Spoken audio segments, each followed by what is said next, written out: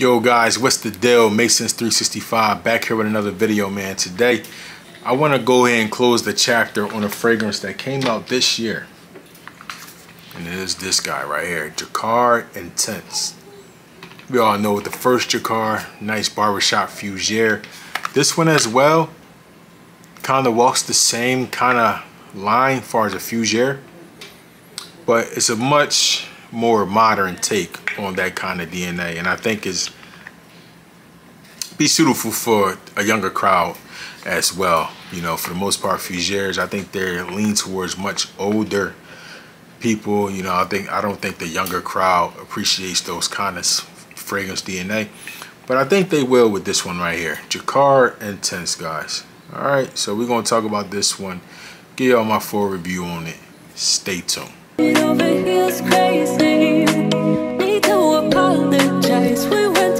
Welcome back guys. Like I said, we're going to be talking about Drakkar Intense. Let me know down in the comments if you guys picked this one up this year.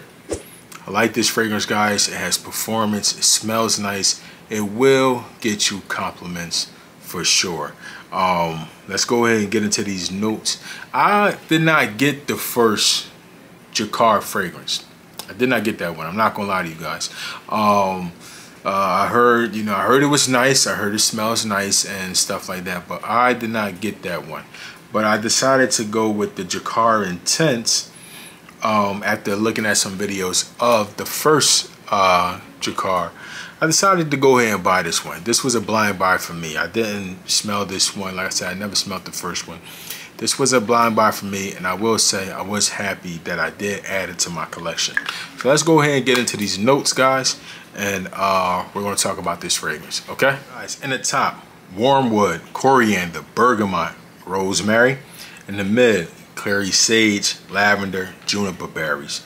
In the base, patchouli, suede, moss, and lavender. What I get from this, you got lavender, coriander, bergamot, little bit of rosemary as well. But it is an aromatic fougere. And you know, one of my favorite fougeres right now, uh, this one, this one guys is super OG. This one right here by Cartier, this is super OG. You gotta have this in your collection. But this is not gonna lean towards a younger man. I think this is a little bit more suitable for the older gentleman, uh, you know, far as that go. But with this one right here, I really did, I really did love this fragrance, guys, for the most part because it performed well.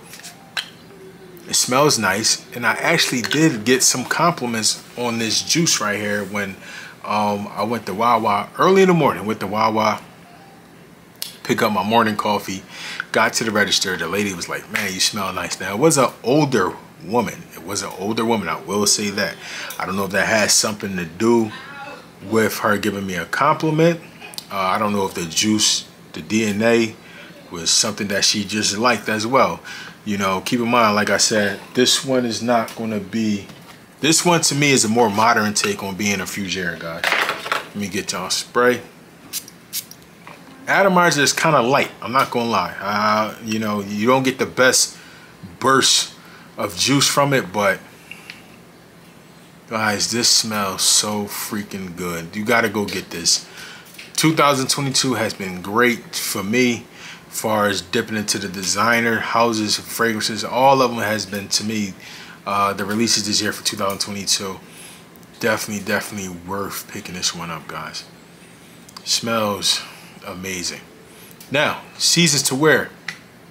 Summer spring for sure I don't think this one is going to be strong enough to be worn in the fall uh, you might, but you might have to go over spray in the fall. To me, this is definitely for the spring and summer. Hotter, hotter weather with this one. It's not beastly, like it doesn't come off as a beast mode kind of fragrance, but I can smell it in the air, and I think that this one would be great. Now, as far as projecting more than an orange length, I did get that. I did get that. I think this one is strong enough to fill up a room. Um, but far as it I don't. It's not beastly though. Beastly. Can it fill up a small room maybe, or when you're walking past people, can they get a nice? Will they be able to pick up your scent trail? I think they will, guys. I think they will. Now, like I said, I spray eight sprays. I'm not, you know, if the fragrance is light, I'm not afraid to double the eight up and go 16. Can I see somebody, can I see you overspraying with this juice right here? I would say yes. I think so. But those notes are really put together very well. Uh, like I said, I did not get the chance to smell Drakkar Noir. I know that is OG. Um, but to me, if I were like, this is my OG Fougere right here. And I think Drakkar Noir kind of smells similar to this uh, old school kind of barbershop scents. Old school barbershop scents, guys, they're not for everyone.